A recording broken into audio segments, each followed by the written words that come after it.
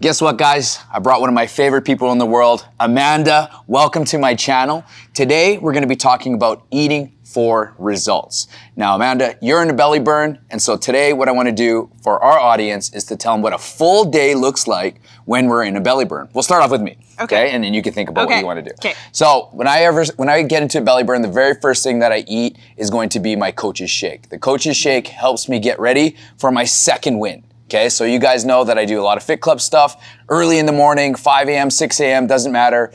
Then I do my coaching. When I get home, I actually have consulting meetings in the afternoon where I help other gym owners grow their gym, just like Fit Club. And as such, I need that protein and I need that boost. So I have what's called the coach's shake, which is peanut butter, chocolate, and now I'm doing decaf. Okay.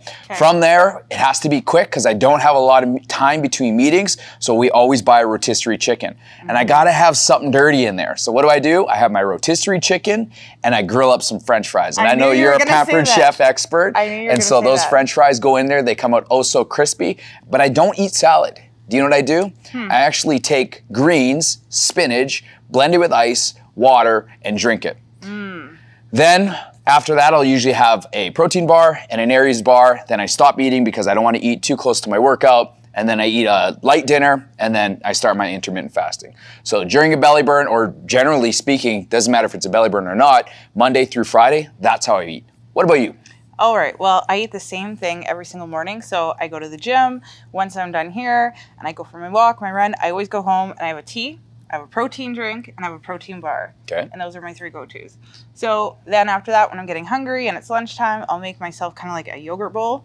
So I'll have some Greek yogurt. I'll have um, some like Quaker oats on top. I'll cut up like three strawberries.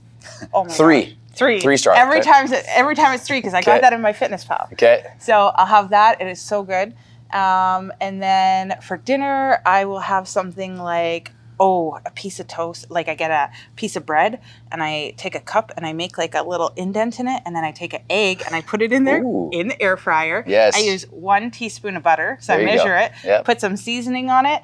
Twenty minutes in the air fryer, Sounds fantastic. and then I'll have a shakeout again after that if I'm still hungry. So it sounds like you get filled up mostly on fluids, and then the foods that you eat, they have to be almost like they have to be delicious. Like Yeah. it sounds like that's a delicious, clean meal. Yeah. So there we go. Two different success types. Amanda's on the success journey. I've got my consistency and consistently with my success, my own. And uh, that's what a full day of belly burn looks like for Amanda and I.